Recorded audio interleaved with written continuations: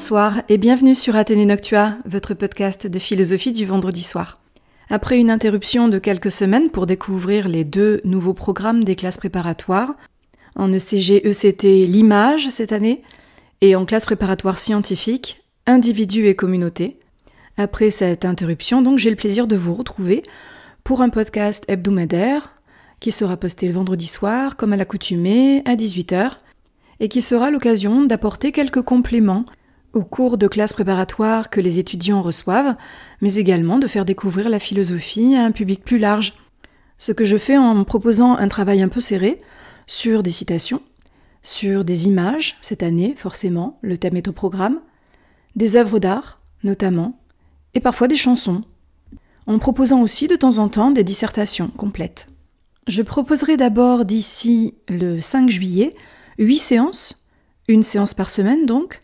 J'alternerai prépa scientifique et prépa commerciale, 4 consacrées à l'image, 4 consacrées au programme individu et communauté, et puis je reprendrai à la rentrée en septembre pour continuer le travail avec vous. Je commence aujourd'hui par aborder individu et communauté, le programme des classes préparatoires scientifiques, je vais aborder d'abord ce qui me semble être les grandes problématiques à traiter peut-être cette année. Je vous rappelle que nous abordons trois auteurs à travers ce thème individu et communauté, les suppliantes et les sept contre Thèbes d'Échille, les chapitres 16 à 20 du traité théologico-politique de Baruch Spinoza, et enfin le roman d'Edith Wharton Le temps de l'innocence. Le terme individu vient du latin individuus, individuum, donc avec deux US ou deux UM, qui est l'équivalent du terme grec atomone, indivisible, qui a donné atomos, l'atome. L'indivisible, l'atome, voilà ce qu'est l'individu, celui que l'on ne peut diviser, qui a son unité propre, un être qui n'est pas décomposable. Comme l'était dans l'Antiquité l'atome, qui par principe n'était pas divisible, il s'appelle atomos qu'on ne peut diviser, et qui était la plus petite unité physique, celle dont toutes les réalités étaient composées. Un individu, donc, cela se pense au singulier, car cela est singulier. Cela est doté de ce qu'on appelle en philosophie exéité, E de C E I T E.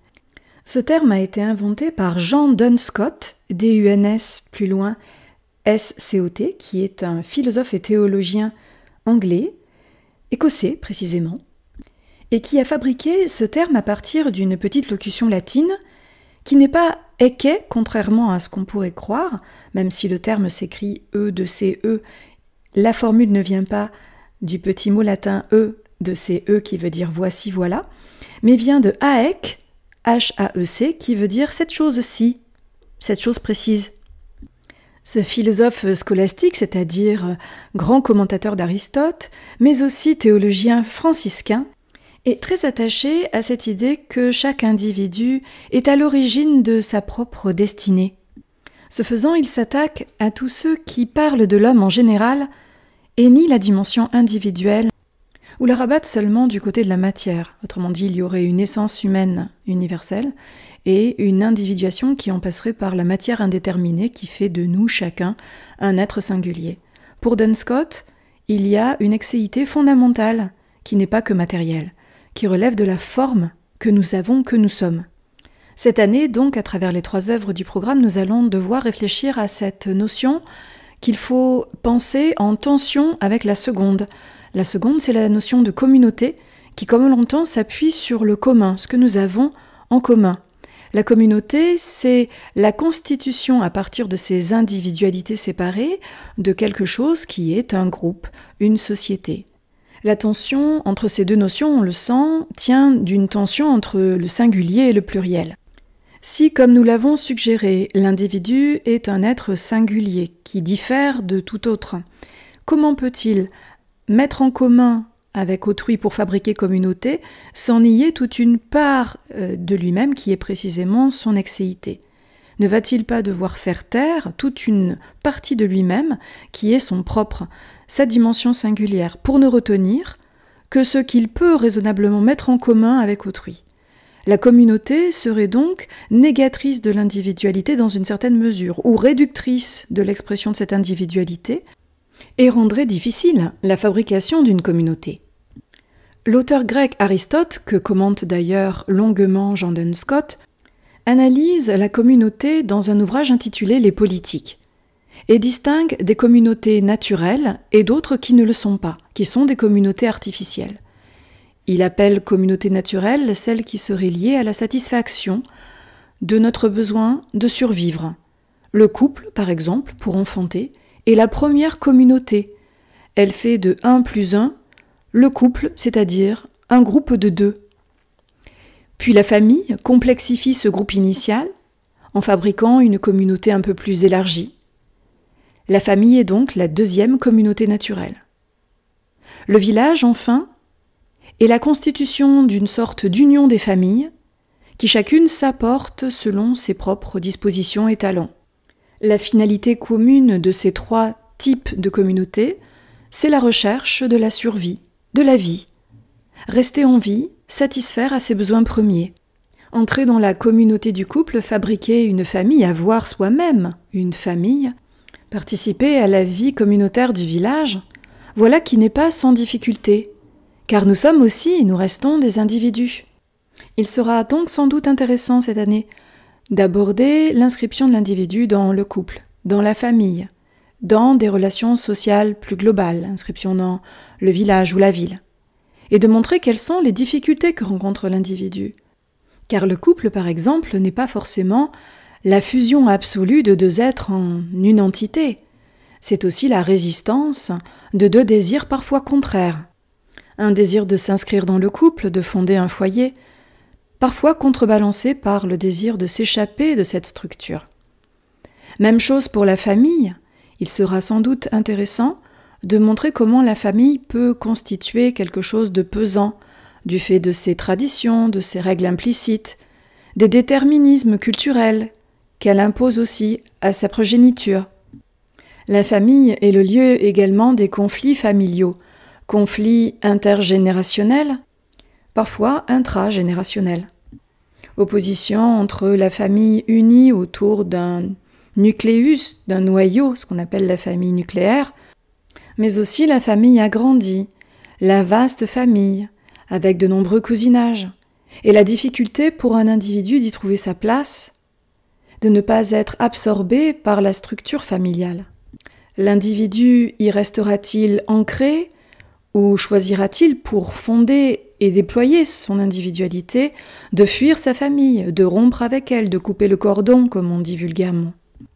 Quant au village ou à la ville, qui est encore une communauté naturelle chez Aristote, a cette vertu de permettre à la famille d'en rencontrer d'autres, donc de sortir de la structure familiale stricte, de sortir de chez soi pour aller rencontrer l'autre, pour se frotter à l'altérité, mais une altérité qui n'est pas très lointaine, puisque c'est le village ou la ville, qui partage sans doute euh, des mœurs communes, une culture commune, une langue commune, ce qui peut faciliter ce qu'on appelle le sentiment d'appartenance.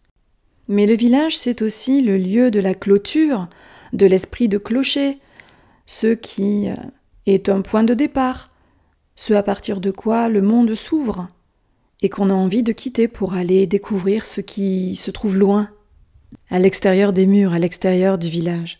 Et là on voit bien que la tension se renoue entre le désir individuel d'accéder à sa propre liberté et les attachements multiples, couple, famille, village, ville, qui freinent cet élan, cette recherche d'émancipation individuelle. C'est très sensible dans l'œuvre d'Aristote dont je viens de parler, Les Politiques, livre 1, puisqu'il décrit l'association des familles en un village comme la communauté naturelle de tous ceux qui ont sucé, je cite, le lait de la famille, c'est-à-dire un village au fond, c'est des enfants, des enfants d'enfants, c'est-à-dire des gens qui sont réunis par des liens aussi euh, de famille. Si bien que pour sortir véritablement de la famille, il faut sortir aussi du village. J'en arrive à la deuxième catégorie de communautés euh, analysées par Aristote, qui est intéressante euh, cette année à aborder, qui est la catégorie des communautés artificielles, c'est-à-dire celles qui ne sont pas induites par un instinct de conservation naturelle, comme, d'après lui, le couple, le rapport maître-esclave, la famille au sens large et les villages, mais des communautés qui sont fabriquées parce que des individus en ont décidé, souvent par choix, par délibération, c'est notamment la structure de l'État. L'État est une communauté qui englobe toutes les autres. En effet, Aristote nous dit On ne peut douter que l'État ne soit naturellement au-dessus de la famille et de chaque individu, car le tout l'emporte nécessairement sur la partie. Comme vous le constatez, la complexification s'est faite depuis le singulier jusqu'à un grand pluriel, chaque groupe étant englobé par un groupe plus grand et l'État étant manifestement la communauté optimale. Contrairement aux trois autres communautés que j'ai évoquées, les communautés naturelles, l'État est une communauté qui vise une finalité qui n'est pas la survie, la satisfaction des besoins primaires, mais la vie bonne. Car l'État recherche la justice, se donne pour cela des lois, si donc un instinct primordial pousse l'homme à fabriquer de la communauté, je cite un extrait encore d'Aristote, la nature pousse donc instinctivement tous les hommes à l'association politique, si donc c'est l'instinct qui pousse les hommes à s'associer de cette façon, à créer des communautés, la communauté politique, l'État est singulier dans la mesure où aucun animal n'est si politique que cela. Des animaux fabriquent des sociétés et notamment des meutes ou des sociétés plus complexes comme peut l'être la ruche ou la fourmilière, mais de telles communautés animales ne visent jamais la justice et la vie bonne. Il sera donc intéressant cette année de réfléchir à l'articulation entre l'individualité, chacun est un sujet, un individu, et le tout auquel il appartient, l'État, notamment à travers l'idée du sacrifice de l'individu à l'État, par patriotisme par exemple, à la quête de justice de ces États qui apportent non seulement une sécurité à leurs citoyens, mais également une quête de justice, telle qu'on la voit notamment déployée dans les œuvres d'Échille, mais une réflexion également sur les abus de l'État, qui ne peut pas tout demander à un individu, qui ne peut pas exiger de lui qu'au nom du collectif, qu'au nom de l'appartenance à une communauté, il sacrifie ce que Spinoza appelle droit naturel. Il s'agira également d'interroger les raisons pour lesquelles les individus ont fabriqué la structure étatique. Qu'est-ce qui les a motivés à le faire? Étant donné que l'individu y perd une part de lui-même, il a fallu quand même que la motivation soit grande pour que l'on abandonne cette part de soi, libre à l'état naturel, et qu'on la soumette, qu'on y renonce partiellement du moins, en créant l'État. Il faut donc que l'État perdure, bien évidemment, tout en ne niant pas tout à fait celui qui a voulu que l'État existe, à savoir l'individu. Et c'est un aspect de l'œuvre de Spinoza qui est très important, une réflexion notamment sur l'État qui s'en prend le moins à l'individu, qui le détruit le moins, qui sait préserver cette dimension, alors que d'autres structures pourraient l'atteindre profondément, voire le nier. Toute la dimension de réflexion actuelle sur les sociétés individualistes, par exemple, pourrait être menée en comparant par exemple cette démarche individualiste avec le totalitarisme au XXe siècle. Le programme précédent avait fait intervenir Anna Arendt. Je pense que ça pourrait être, pour les cubes par exemple, cette année, l'occasion de remobiliser euh, ces réflexions sur l'État totalitaire qui s'en prend tant à l'individu au nom de la communauté. Cette analyse des enjeux des lectures à venir s'achève. Je vous remercie de l'avoir écoutée. Si vous appréciez ce travail, n'hésitez pas à vous abonner, à le faire connaître autour de vous. Quant à moi, je vous dis à très vite pour philosopher un peu à l'heure bleue avec moi.